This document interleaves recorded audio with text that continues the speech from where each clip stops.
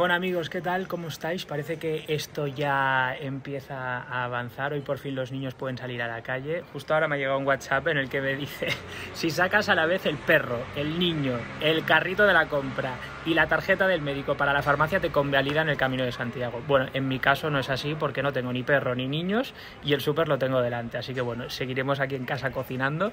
Y a, lo que iba, eh, justo hemos preparado hoy un bizcocho con patirro eh, de chocolate buenísimo que os voy a enseñar el paso a paso para que lo veáis fácil de hacer y delicioso, ya veréis. Es pim pam, pim pam.